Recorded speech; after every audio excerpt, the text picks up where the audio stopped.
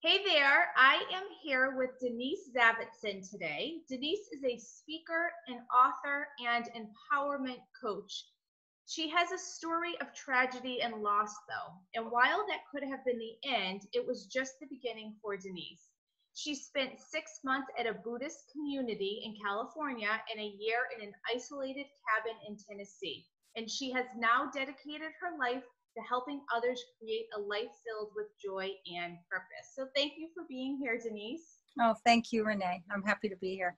Thank you so much for sharing your story.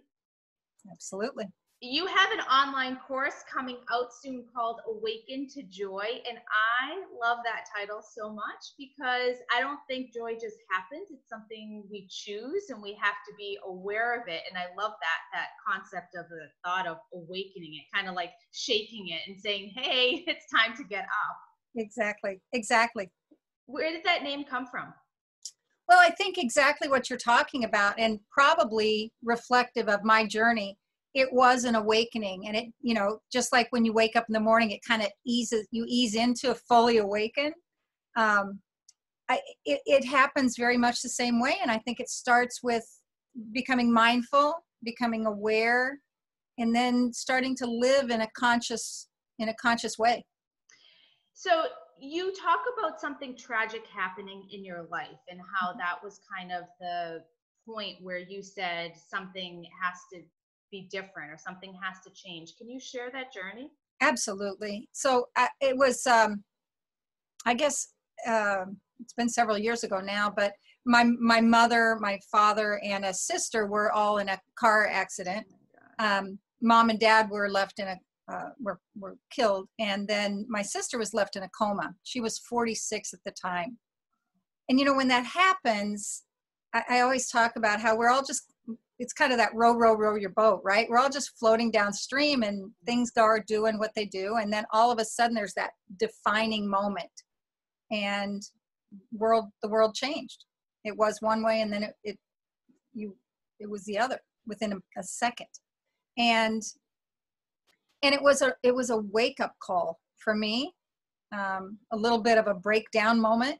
Mm. and I, I, I talk about feeling like humpty dumpty you know you're just crumbled. And you have to start picking up the pieces and pulling yourself together. Um, my sister lived for four years but she remained in a persistent vegetative state. And that was a whole other you know kind of experience um, that brought everybody together because we all shared in our common grief. And there were there were lessons everywhere renee you know it just um, how do you overcome something like that? Yeah well everybody grieves differently. I, I actually was really fortunate in two ways. One, I had gone, I was in the process of moving and I had returned home to say goodbye to my parents, which was in hindsight like the most magical opportunity.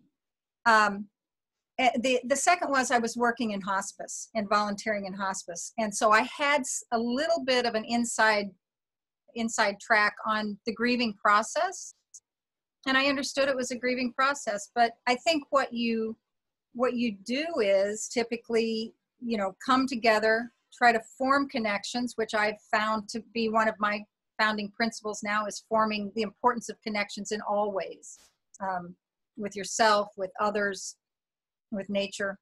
And and then um, the second thing is to just start with the little things you can do.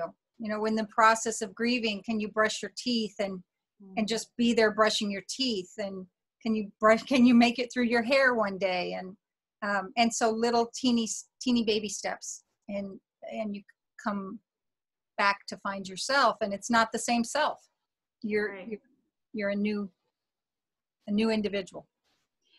And from this this awful tragedy you then went to the buddhist monastery as well as uh, spent some time alone in a cabin in Tennessee. Yeah. Can you talk about that? Because I'm so fascinated by it. yeah. Yes. It, I've always been on a, I, I feel I've always been on a spiritual path. Mm-hmm. I, I had a very strong draw to that from the time I was in my teens. but, you know, was raised Catholic and got married and did the traditional stuff. And when this happened, I really felt a calling to to dig deeper. I felt there was an opportunity, and I really live with the belief that wisdom is a choice, and that choice comes from from choosing to be conscious or create more uh, opportunity for awareness in our lives. And so, going to the Buddhist community was a time for intense meditation. I mean, you know, more than more than an hour and a half a day, and then a lot of silent uh, work. So they they actually um, have a, the community as a working community, and so a lot of times your day is spent spent in silent meditation and practicing mindfulness. So that was that was a great foundation. When I returned, I was in the process of of doing a lot of writing, and I felt like I still wanted to stay off of the the merry-go-round. Mm. And so I found a cabin. I, I, I'm a big fan of Thoreau, and I thought, well, if it's good enough for him, it's good enough for me. so I found a little cabin in this beautiful, secluded um, spot along the Buffalo River in Tennessee, and uh, no heat. Wow. so I had to learn how to build a fire, and you know, there were just it was just a magical experience. But it brought me back to myself, mm. and got and and allowed me to, while I was in nature and alone in nature, and there was connection there. It also almost forced me to turn inside and find and create that connection back with my true self. And how did you deal with the being alone versus being lonely? Oh, that's that's amazing, isn't it? Yeah, that's a, that's such a differentiator. And I spent several years after following my divorce and, and actually following the tragedy in relationships that that were not healthy or maybe not not right, not a good fit. And I was so lonely in those. And when I got and and I just kept on the same wheel. I'd be I'd get be in a relationship and and it just didn't work out or I'd try to be that who that person, you know, would want and it didn't feel right. It didn't last. And and I felt so lonely. And so when I went to the cabin where I was it didn't happen overnight that I was not lonely, but I was alone and that forced me to connect to my inside, to my my true self. And that's when I found that I wasn't lonely anymore. I didn't wow. really need anyone else to to you know complete me. And oh and I I run or I don't know if it's ironically or even by chance, but it was after that year that I met my my current husband and it has been the best most best healthiest relationship I've ever had. Mm. It's it's been wonderful. But I I attribute that to to the fact that I came to know myself. I gave myself mm. a chance to figure out what, what what's in here. Right. And so often after a divorce, we jump into a relationship that isn't a good fit either. And sometimes it's the opposite of our ex. Yeah. And we're not making better choices necessarily. We're trying to fill a void. And I think that's so important too, to um, you know, I I I'm on my third marriage, um, and I have put the space in between two and three to be to land where you are now as well, and to have something just really whole and wonderful. But that second one was the the mistake. That was the filler, you know. So, yeah. um, I think it happens so often, and and it happens sometimes that you know we uh, we get married at a young age. We're trying to fulfill a promise that we thought we were supposed to be, or it's a marriage looks like this. Um, oftentimes, that second marriage is, you know, a pendulum swing from the first. Well, we did it this way, now we're going to do it another way. Right. Or we just repeat what we were doing in the first one. I personally don't feel that there are failures or mistakes mm. If we can learn from them. Yeah. And I think there's the opportunity when we are in relationships, they are they are learning opportunities and if we're bumping up against somebody all the time or we're giving up our power that's that's an opportunity for us to learn that we're maybe not in the right space right right and so from this journey you actually emerged from the cabin with some uh, lessons and i think that your work is built around this right yeah. can you yeah. talk a little bit about that Yeah, absolutely. And I, th- I think, you know, they're not, uh, they're spiritual, they're not religious, there's no denomination. And what I feel like in along my course, I've found kind of a golden thread that I feel like runs through every religion. And for me, there are seven foundation principles that I try to structure my life around, and I think is very helpful in this awakening to joy. And and they are, you know, the the the lesson of impermanence and each day we treat it if we if we'll treat it as a gift if we'll understand that there's no guarantee that five minutes from now i'm going to be here or a loved one's going to be here and that's not to say oh we're morbid and let's like dig into them right but uh, but but to say i can honor what i have now because it's precious it's truly a gift and so one, mm-hmm, go ahead one of your affirmations is change and that's a tough one because that's usually the thing that everyone pushes back against and they don't want change. It's uncomfortable and it's uncertain. So, what do you say to someone who is going through a divorce and it's the change that is so overwhelming for them? Yeah.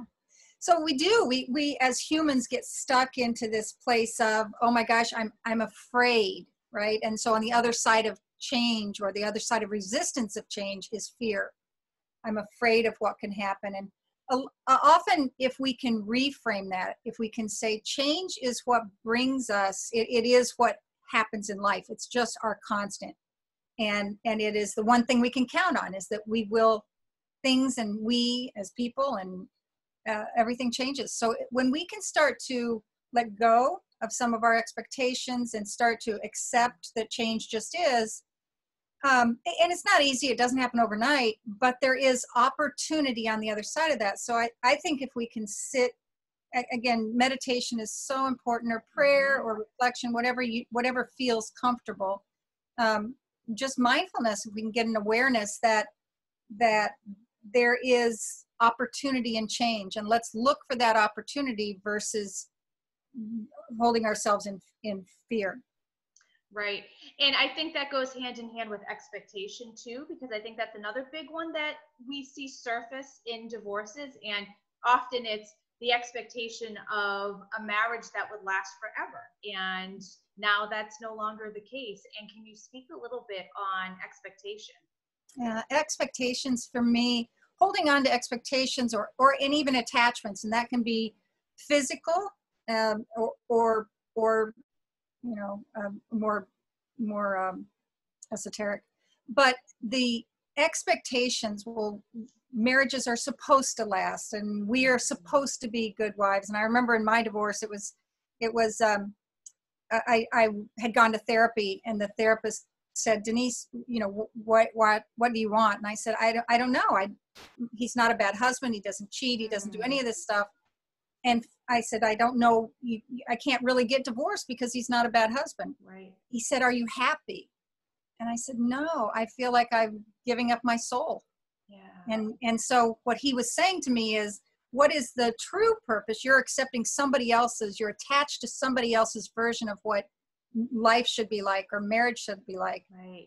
I, as far as I'm concerned, my 12 year marriage was very successful because we had two children. We've remained a family and so we re- we took it and redefined divorce mm.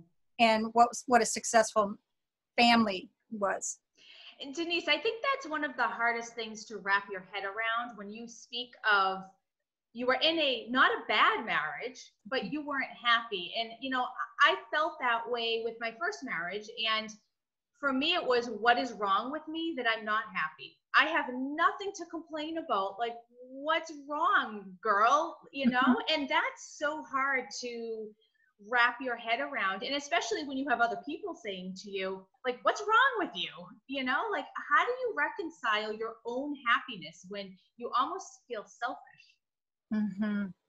yeah it does feel selfish and I, I felt like as you said, I felt like I was robbing my children of a mm-hmm. of a normal family, right? And and honestly, I think it took me going back, at least on a personal level, and saying what is what is my purpose in life? Is my purpose in life when it's all said and done to be able to say she was married for you know 152 years? I don't know that that's was was a good fit for me in terms of purpose of life um, for me, there's there's a, a a purpose that we each have as we're living our lives, and I'm not certain that you know. I think there was a there's a line in in a movie that you know geese stay together forever, um, but we're not geese, right?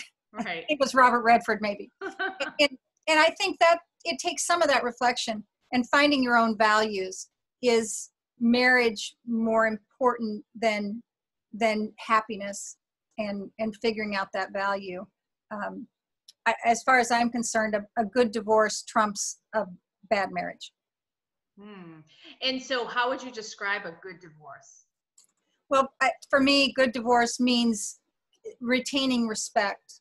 Um, I, knowing that each of each of us is on a path and respecting each other's path um, if, there's children involved involved obviously keeping peace for the children. And part of that means that understanding that each, our children look at at us as as as their role models but also as a piece of them. We're a kind of insight to who they are themselves. And when we disparage the other the, the spouse or the or the partner uh, the other parent then it is reflects back on the on the child. Mm-hmm. and we I, I, think it's very difficult to raise healthy um, well-adjusted children when we are disparaging and so and it doesn't serve a good purpose.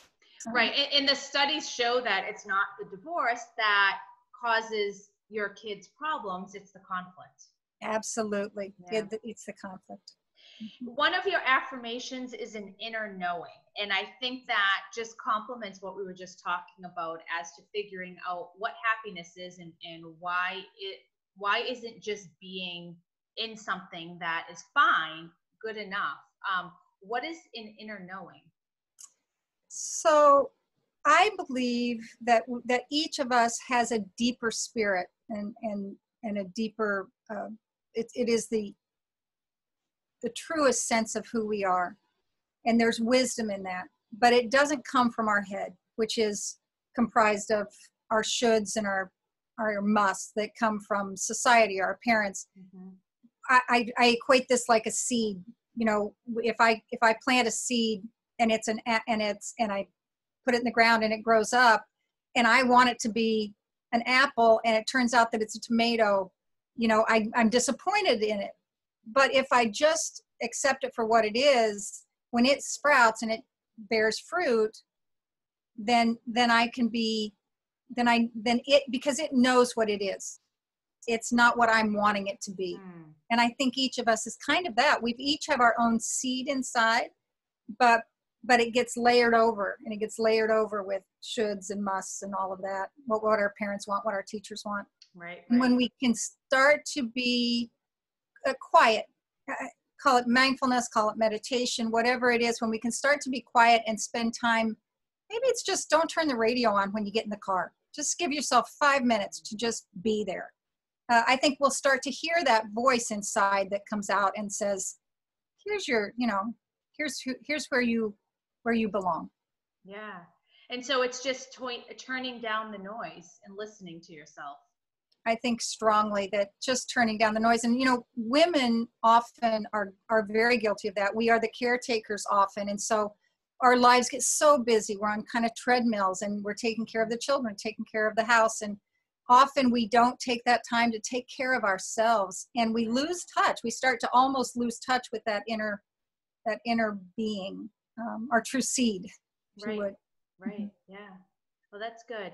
I mean, I I love that. And I love to drive and not have the radio on. And then sometimes I catch myself like talking to myself, but I feel like it's the inner voice kind of coming out. And I'm just like, if I say it, then I'll remember it. Yeah, absolutely. I absolutely. I think that there's so much wisdom when we can turn inside hmm. and get out of our head. Start start listening. I call it listening with your heart.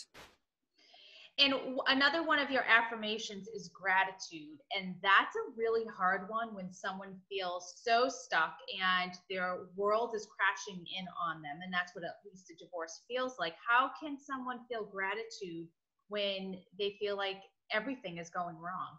Yeah. Well, you know, when we talked about change and acceptance and and finding the lesson and all that often eh, eh, we can we can find gratitude if we can find gratitude first in the obvious right? I'm so happy i can have a cup of coffee i'm i'm grateful for running water. Find gratitude in the obvious and then eventually stretch a little bit beyond that to start to say where's my gratitude in this marriage? And and a lot of times that can come from what have i learned? What have i learned about myself from this marriage? What have i learned about others has the marriage given me children i love Hmm. has it taught me a little bit more about myself that i might not have gotten to if i hadn't had this pushback from somebody that was so different from me Right. or uh, yeah so Is it a stretch to ask someone to have gratitude for their spouse who maybe cheated or maybe wasn't kind? Well, I think I think that everything has to happen in its own time. So you, nobody needs to be feel forced to have gratitude for someone who's been unkind to them. But when you can release that hurt, say it wasn't about me, it was something lacking or lesson they needed about themselves, and then and then yes, I think find gratitude for the fact that they brought you an awareness that's going to make you stronger on the other side Hmm. It's it's that old line that which doesn't kill us makes us stronger right and if we don't have that we won't get to that other place Ah, that's a that's a great way of thinking about it, and it's a little twist because so often though people really they play the blame game, and everything is the other person's fault. And Yeah. so you're saying instead, let's say thank you for for making me realize that this is not the best place for me to be, and maybe there's more out there. Absolutely you know when when when our cup is so full uh, there's no room for anything to come in Mm. and if we're if we've got a cup of of sour milk and we pour that milk out wash the glass out a little bit we have an opportunity to pour some great other drink in there that's fresh and new Right, right. And so your affirmations, um, how is someone to use them to help them and in the now, like as of today? You know i still it's been uh, i've it's been more than 10 years since i've composed them and and i they, i really feel like they don't belong to me. They came through me but i i can't really take credit for them probably but um, i still use them every day. And you know i've recorded them and you can listen to them or or i i've got uh, copies on the website. And um, i do them every day and because it's a good reminder you know it's a five minute kind of thing that says okay there's there's impermanence there's change what can i how can i let go or release expectations today how can i bring gratitude in today and so it just is a little guiding light as i move through the day Almost like a mantra. a little bit Right. like a mantra Yeah. Mhm. Uh, one of the affirmations is also non-attachment, and I think this one is really interesting. So can you share a little bit about that? yeah so so attachment and, and attachments um, and, and expectations are closely associated Mhm. are are what I believe bring us bring us stress or bring us um, suffering. And and when we can release that, so you mentioned before about a spouse, how can we be grateful, you know, for a spouse that's hurt me? When I become attached to the idea that someone's hurt me, and I'm taking on a victim role, it doesn't allow me to rise above that. And and so it's really part of what's causing my suffering. The minute i can let go that attachment then then i'm freed. I, I it's an empowering Mm. action. And you can even say you know there's possessions. In divorce you're Yep. splitting up physical items right? And i can be attached to this thing you know maybe it was my grandmother's plate. In the scheme of things when i can separate myself from that when i can become an observer in it and get some perspective there's an opportunity to say what really has value here? Right. is this worth what it's costing me internally? And what will it take? What could it what could i replace it with down the road that might be even better we see that all of the time with the house because people have an attachment that they want the house. And maybe because it's a oh it feels like a win or they think the kids will want to spend more time there if they have the house. But often it's not a practical decision. And that's a question i always ask is really why do you want the house? And it's this attachment you know and so it's so interesting and i think that that lesson is so important for anyone going through a divorce to really separate out why they're asking for what they want or why they're so committed in in really digging in for this this ask. Mm-hmm. and it's so so many times it's emotional. I think absolutely. And and it it often is a weapon that that comes out um, that that requires that perspective and maybe some introspection and self-examination of it. Um, perspective is a great a great tool you know and when you become become that observer and and you can actually say look at those two people down there fighting over that house. What what's that all about? What is it really that mm-hmm. important? Right right. So interesting. And so how can someone find you and work with you? Yeah well i'm i'm a, an empowerment coach so i have a website it's called uh, awaken to joy um, awaken to joy is the course and then i'm at denisezavitson.com on all of the social media items as, or platforms as well Awesome. And do you have any future trips planned on a mountain this time or? you know what? My inner voice has been saying India, so I don't know. no, no time soon, probably, but but um, that's I've got kind of a calling there. All right, I can't wait to follow your journey. Thank you so much, Denise, and thank you. Oh, Renee, sharing. thank you. Thank you for sharing the affirmations. Everyone needs to go check them out because they're so important. So thank you. Thank you.